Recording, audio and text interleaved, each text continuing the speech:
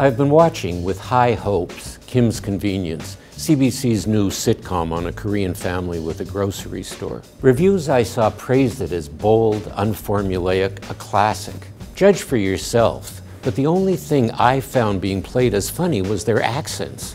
So we're laughing at, not with them. 아빠, come see, huh? Janet gets top mark in class. Oh, very good. We celebrate by you taking out garbage. For a different take on accents, try the US series Atlanta with Donald Glover from Community.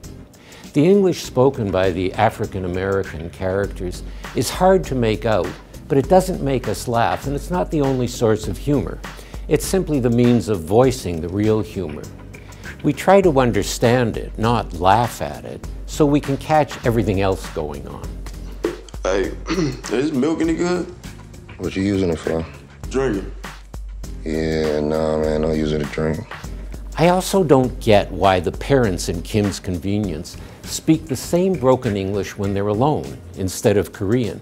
They could use captions or even speak in perfect unaccented English to show they're using the language they know, except those accents are the only thing the show has going for it. Is this too critical? I don't see why supporting Canadian culture means you should be uncritical, as if someone will take it away if you aren't. You should be most critical about what you care most about, like public education or the CBC. You want them to be good, not just there. If they fail, you ought to double your support, not withdraw it. For the Toronto Star, I'm Rick Salutin.